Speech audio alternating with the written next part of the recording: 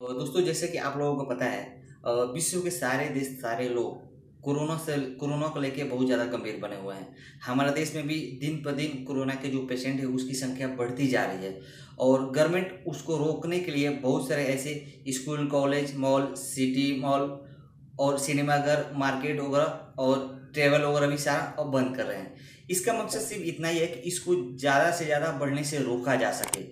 और जिन भी लोगों को हुआ है, उनको आइडेंटिफाई किया जाए और आइडेंटिफाई करके उनको जल्दी से जल्दी हॉस्पिटल में भर्ती करके उनको सैनिटाइज किया जाए, जिससे कि जो ये वायरस है, उसको बढ़ने से हम रोक सकें।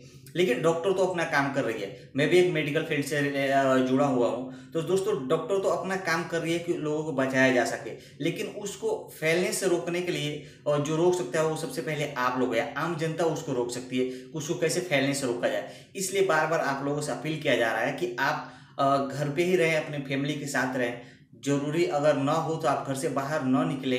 अगर जा रहे हैं तो मास्क लगा कर निकले और बार बार हाथों को आप धोते रहें। हाथों को धोने का मतलब ये होता है, इसलिए बार बार आपको बोला जा रहा है कि हाथ आप धोते रहे, क्योंकि ये जो फैलने, जो ये वायरस है, ये फैलने का जो मेन इसका है, वो सरफेस से ही फैलता है। क्योंकि अगर ये किसी सरफेस पे, जैसे किसी दरवाजे पे या लोहे पे या कहीं भी, जैसे आप कहीं गाड़ी से भी ट्रेवल करते हैं तो उस गाड़ी की सीट पे या कहीं भी अगर वायरस होगा तो आप हाथ रखते हैं तो आपके हाथ में के संपर्क में आएगा।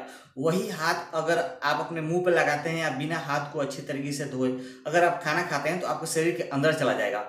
और सबसे बड़ी दिक्कत यह है कि जो ये वायरस के संपर्क में जो लोग आते हैं, उसके सिम्टम्स तीन से चार दिन बाद पता चलता है। यानी कि अगर आज आप उस वायरस के संपर्क में आ रहे हैं तो तीन से चार दिन लग जाएँगे उसको पता चलने के लिए।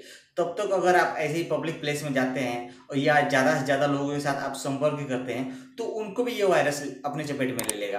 तो इसीलिए गवर्नमेंट में बार बार बोल रही है कि आप घर पे बैठे रहे, कि अगर कोई व्यक्ति अगर आज वायरस के चपेट में आता है तो तीन से चार दिन बाद उसे पता चल जाएगा कि हाँ उसको ये संक्रमण चालू हो गया।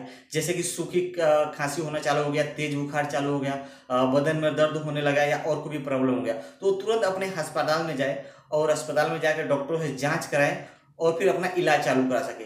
ऐसे ही आम लोगों से भी अपील है कि अगर आपके आसपास में कोई भी ऐसा व्यक्ति दिखता है जिसको कि अगर तकलीफ़ लग रहा है ऐसा तो आप तुरंत उसकी जाँच कराएँ और घर के आसपास साफ़ सफ़ाई का भी ध्यान रखें, अपने परिवार के भी सुरक्षित करें। और जो लोगों को इनके बारे में पता नहीं है, उनको सही गाइड करें कि हाँ कोरोना वायरस है क्या, कैसे फैलता है। झूठी अफवाहों के चक्कर में आप लोग ना पड़े और अपने अपने गवर्नमेंट का आप लोग हेल्प करें। एक दूसरे का हेल्प करें, तभी हम इससे निजात पा सकते हैं। तो उम्मीद करता हूँ वीडियो आपको पसंद आया हो तो वीडियो को लाइक करना और शेयर करना मत भूलना।